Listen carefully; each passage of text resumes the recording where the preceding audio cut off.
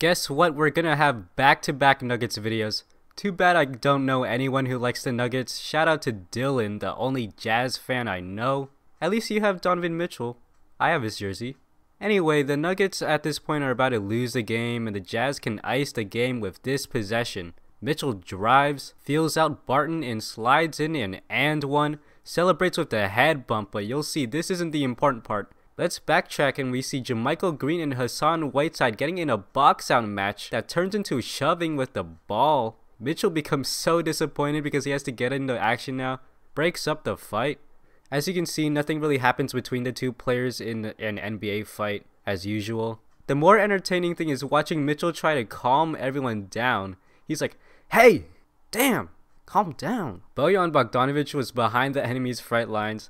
He's like, I could do something right now, but I'ma just stand here instead. Yep. Clarkson rushes in from the other side of the court next to Bojan. I was here too. Royce O'Neale's like, good job, big guy. Save that for the playoffs though. JaMychal Green is still talking. He says something along the lines of, bitch ass up. Maybe he was saying shut your bitch ass up or something. I don't know. Whiteside wasn't even talking though. All this action completely distracting everyone from the nifty finish from Mitchell though. Head bump. Smile. Killer face. Oh, I can't pimp my finish anymore. Time for pushing. Now this angle is the most tragic. Mitchell comes out of the view, pushing. Ref comes in from the left. Good block. JaMychal Green hits the ref with his hand. Oh, he got a good piece out of his face. Ref's like, ow, that hurt. Ends up being a double technical into an ejection for both players.